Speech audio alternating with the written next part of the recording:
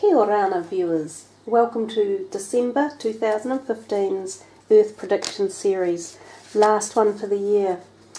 And I think you can all agree that November was a pretty rugged, turbulent month, and we had that strange reversal of the libido card, which in hindsight I think represented extreme mass compassion events, and they certainly did go globally extreme, just we seemed to really get connected with the Paris terrorist events.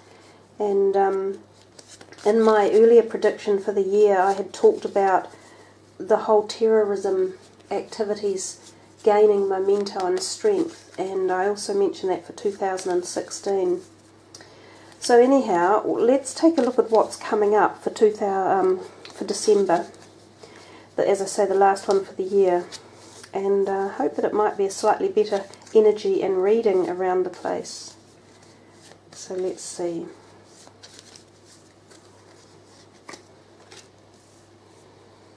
Money, prison, the skills card, the sage, now, and the wheel. They are different cards than we've had previously. I put the citrine stone in the back of the reading because citrine is well known for its benevolent energies for prosperity, especially financial gain. And I see that the money card is the first one out, which often indicates to me signs of um, slowing up of the money sector. So something causing it to um, glitch, if you like. Uh, if you see here in the picture, these are um, silver coins sitting way underground in a field, and there's a farmer behind ploughing it in a rather barren, dry, inhospitable looking ground. So it immediately comes to mind money and trouble with money. So whether or not there's something globally that our money markets take some sort of either freezing as if they shut down or whether money takes a fall. So, um, various currencies around the world may uh, slow down or lower their value as well. That given that this is a silver coin, um, it makes me think of silver itself as the financial investment that it's going to take a bit of a downturn in this time frame. I also think of very, um, we look at this as being underground, so possibly underground activities as well, and things coming to the surface. So again, you could, if we're talking um, theoretical, it could be issues that are hidden and underground and evoked and are brought to the surface one way or another. And it could also con- consider underground energy in the whole of the planet, such as um, volcanic activity, anything to do with tunnels or mining, um, as well as quake related activity. In fact, I notice when looking through the lens of my camera that it's particularly hard to see the card I was just talking about. So I will move them over and um, move them down like this and see if that makes a difference a little bit easier to see. So this is the money card that I was referring to, which was a little bit hard to see in the first part of the video. Right next to it we see this prison card. So we've still got the feelings of being trapped in underground energies. Um, we've also got the feeling, well that's really interesting, now that I have changed the dynamic or the layout of the cards, it wasn't until I saw what's just occurred to me um, that we have these two cards sitting on top of each other with these really strong rays of sun. So there's going to be something in December that the sun brings into activity. And most of you will know I follow Suspicious Observers, and I hope most everyone does follow him. In fact, I notice when looking through the lens of my camera that it's particularly hard to see the card I was just talking about. So I will move them over and um, move them down like this and see if that makes a difference. A little bit easier to see. So this is the money card that I was referring to, which was a little bit hard to see in the first part of the video. Right next to it we see this prison card. So we've still got the feelings of being trapped and underground energies. Um, we've also got the feeling, well that's really interesting, now that I have changed the dynamic or the layout of the cards, it wasn't until I saw what's just occurred to me um, that we have these two cards sitting on top of each other with these really strong rays of sun. So there's going to be something in December that the sun brings into activity.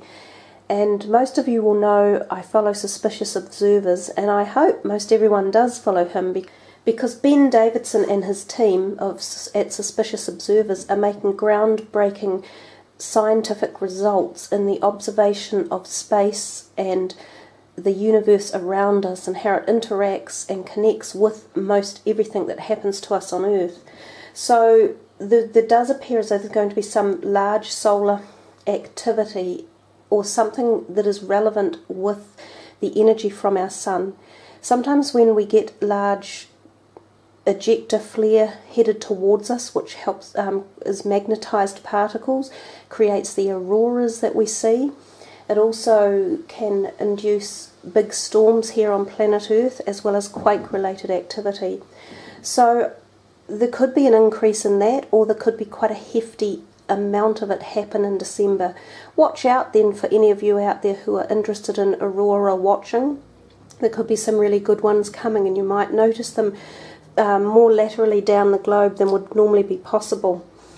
We think of this as being harvest time, so I think sometimes the northern hemisphere will perhaps notice some of these occurrences more than other parts on the globe. I also see that it's kind of um, energetically connected to the sage, and I always think of him as sitting there with this book and he's writing mathematical equations. And I often think of him as being an observer of the universe and the skies in particular. So, some sort of physics equations or um, mathematical energies to do with watching our skies. Now, sometimes this can be when new asteroids are found or comets are traversing the skies, or we might have um, sun diving comets in December. There might be some unusual planetary lineups as well, but it does hark that sort of energy.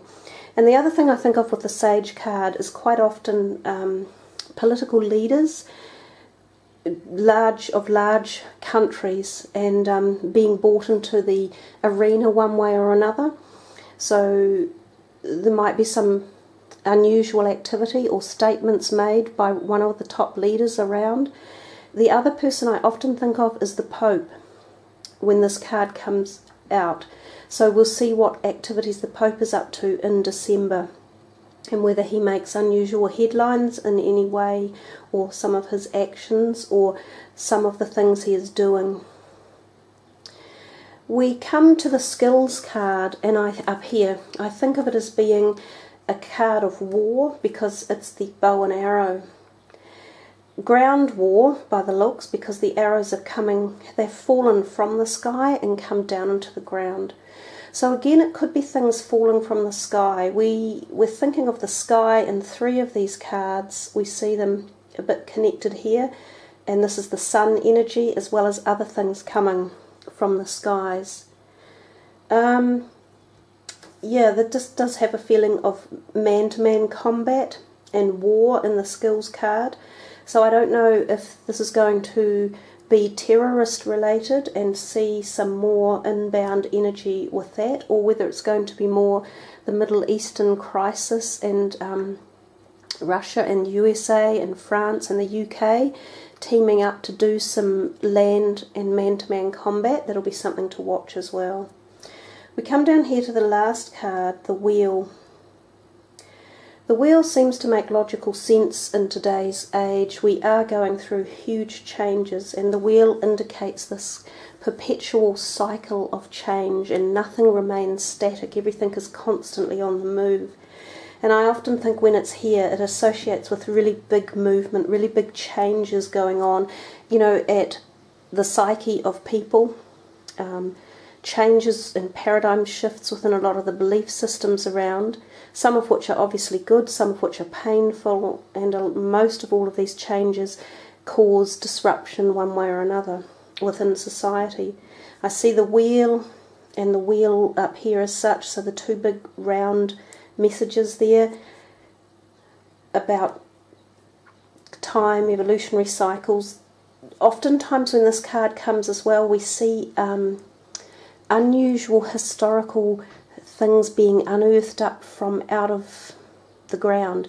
So, antiquities that we didn't know existed come to the forefront when this card is around as well. So, um, keep an eye out for that. Possibly the sage is also linked into that. And the other thing with the wheel, we see this really fast spinning water.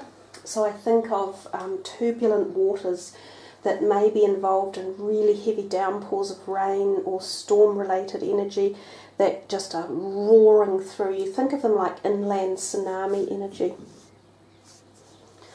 So, um, the prison sometimes can be prison related issues that actually occur within prisons, but definitely um, trapped, stuck within, um,